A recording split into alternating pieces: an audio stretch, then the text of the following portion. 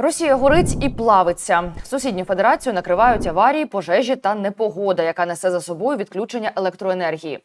Всі природні катаклізми, які заважають росіянам жити, ми зібрали в одному випуску. Раджу одразу підписатися на канал Сейчас і починаємо.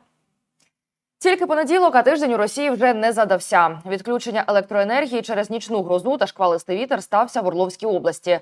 Про це повідомила прес-служба уряду в понеділок, 15 липня. Основними причинами стали падіння дерев та накидання гілок на дроти високовольтних ліній. Пише у своєму телеграм-губернатор Кличков.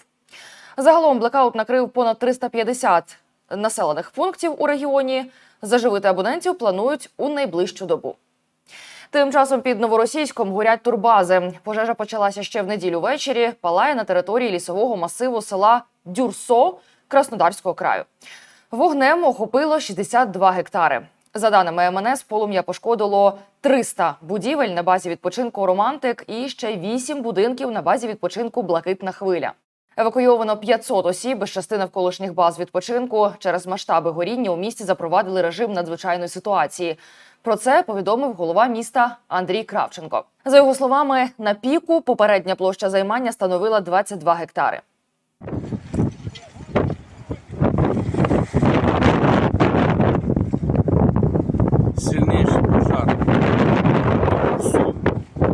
Дорогу отрезала. База горит вся. Стоянка с автомобилями тоже горит. Все, кто остались целые тачки, вот сюда приехали. Направо не выйдешь. Нині рятувальники усувають осередки спалаху, що залишилися. Зазначається, що на місці продовжують працювати літак Іл-76 та два вертольоти К-32 та Мі-8 із водорозливними пристроями. Ну разом із пожежами не дає про себе забути бавовна. Цього дня дрон атакувало одразу два населені пункти Білгородського району. У селищі Октябрьський внаслідок атаки БПЛА постраждали двоє мирних жителів. У момент нальоту чоловіки знаходилися всередині автомобіля. У одного осколків і поранення правого предпліччя та голови, у другого баротравма, розповідає губернатор Гладков. Вся область ризикує залишитися голодною через обстріли на Білгородщині. Не збирають зернові на 6 тисячах гектарів, і це не багато не мало 8% загальної площі. Крім того, керівник цими землями доручив обмежити доступ до прикордоння, що обстрілюється. Послухаймо.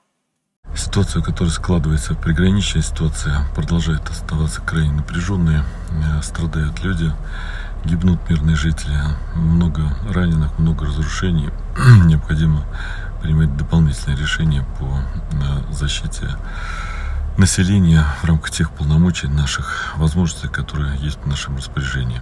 Залізниця не витримує. Одна людина загинула, одна постраждала при сходженні товарняка в старому осколі у ніч з неділі на понеділок. Постраждали двоє співробітників локомотивної бригади. Їх доправили до лікарні. Один із них помер сьогодні. За даними телеграм-каналу, Білгород номер 1 один із поїздів був несправним. Цієї ночі неспокійно спалося ще кільком російським регіонам. Якщо вірити сповіщенням від Міноборони РФ, у ніч на 15 липня ППО ворога знищила 15 безпілотників у Брянській області, один у Липецькій і ще 6 у тимчасово окупованому Криму. Росіяни в шоці від громихань та сильних бабахів, але тамтешня влада заспокоює, мовляв, все під контролем.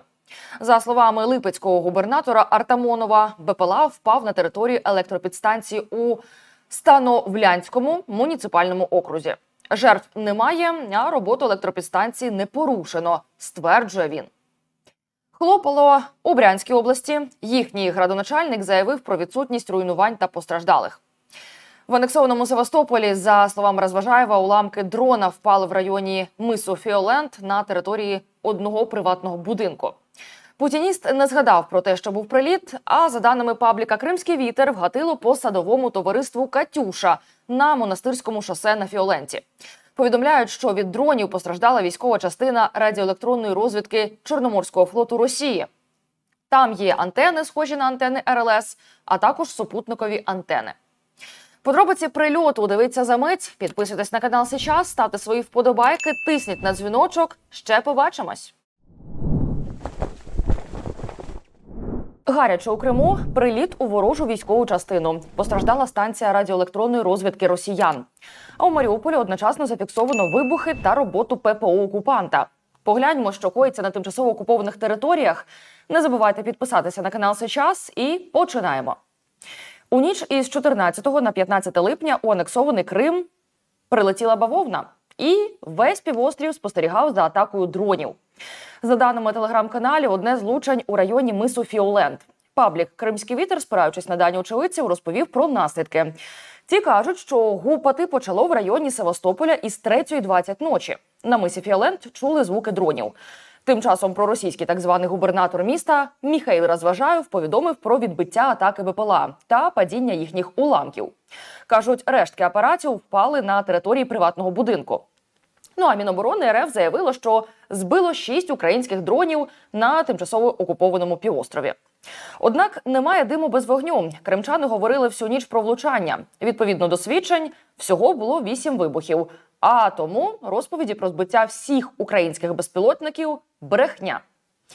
На ранок інформація таки підтвердилася. Аналітики вже згаданого кримського вітру вичислили точну локацію прильоту до останньої координати. Отже, згідно з початковими даними, вгатило по російській військовій частині в районі мису Фіолент. Це дивізіон ЗРК С-400 С-300 зі складу 12-го зенітного ракетного полку, військова частина 85-702. Імовірно, там було пошкоджено одну з ворожих станцій радіолокації. Також був вибух на позиції С-400. Але згодом осінтери підкоригували інформацію. Від українських дронів, як виявилося, постраждала не ракетна частина, а розташована поруч за парканом, так би мовити, військова частина радіоелектронної розвідки Чорноморського флоту Росії.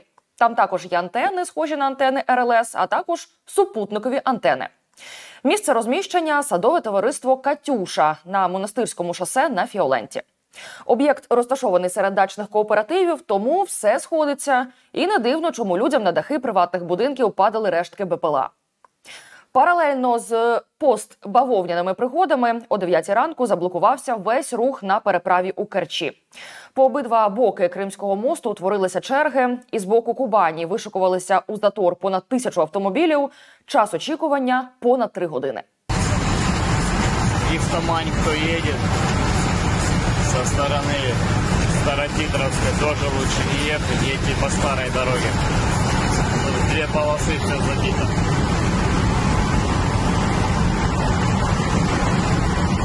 Лукойл, дальше Лукойл собирается. Наверное, до Степлиевки растянется.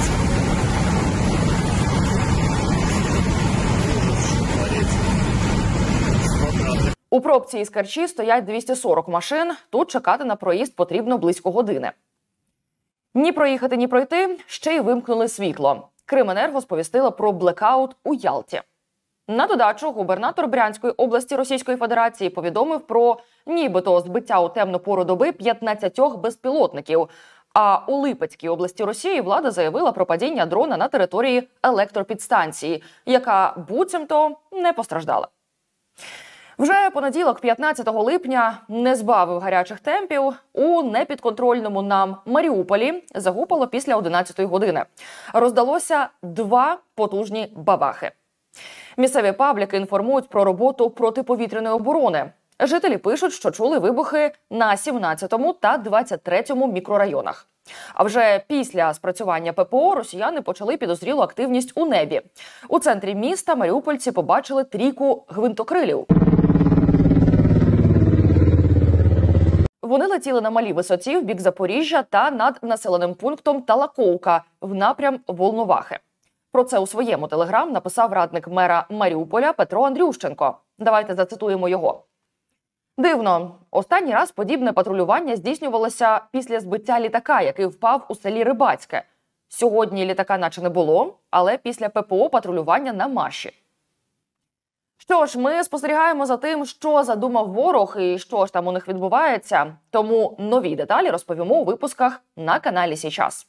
Аби їх не пропускати, підписуйтесь, залишайте свої реакції у вигляді вподобайок та коментарів. І до зустрічі!